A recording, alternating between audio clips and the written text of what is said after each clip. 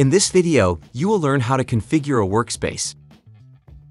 We'll discuss how to change your workspace settings and visibility. You'll also discover how to move boards to a different workspace or delete the workspace. Let's start with changing your workspace settings. The best place to configure your current workspace is from the sidebar. Expand the sidebar.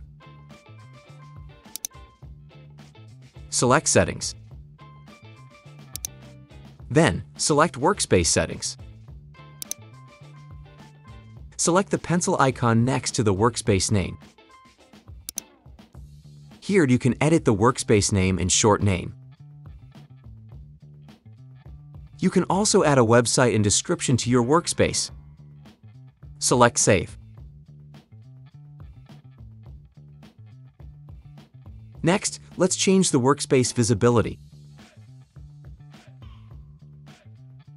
From the Workspace Settings page, navigate to the Workspace Visibility section. This workspace is currently set to private. That means only workspace members and guests can collaborate with content and boards. The workspace is not visible to those outside the workspace. To change the visibility, select Change. Select Public. This means the workspace will be visible to the public and can be found through search engines. Now, we'll learn how to move a board to a different workspace. This is something you'd want to do if there were existing boards outside of your workspace that you wanted to move into it. To move a board to a new workspace, you must be an admin of the board, as well as a member of the workspace you are moving the board to. Premium admins have admin control over all the boards in the workspace. There are two ways to change the workspace a board belongs to. The first method is to change the workspace from the board menu. Open the board you want to move. Open the board menu. Select More. Select Settings. Select Change Workspace.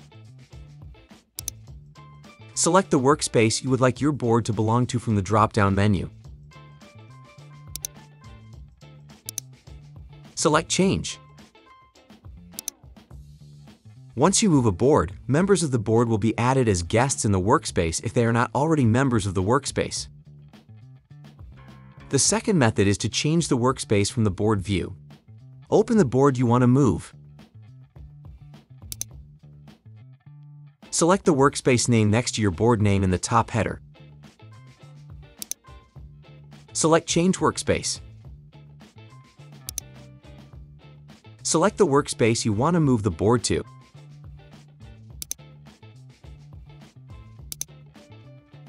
Select Change.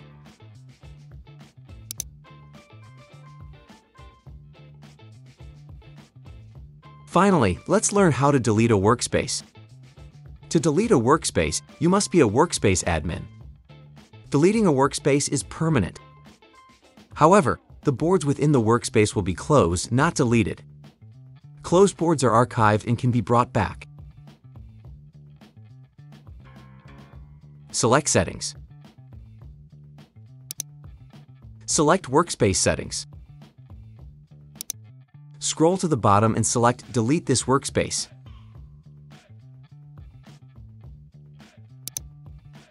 Enter the name of the workspace. Then, select Delete Workspace.